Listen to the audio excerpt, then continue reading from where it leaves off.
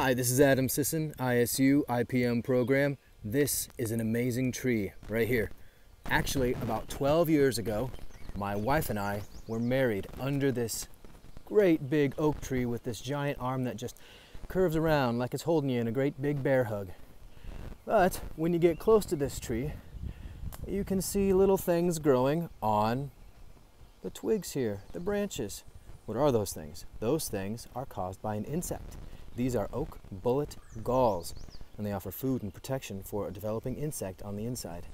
Now, there's a lot of these galls on this tree, and they're not really going to hurt this tree, but they are very unsightly. If you want more information on oak bullet galls, just do an online search for oak galls, Iowa State Extension. Talk to you later.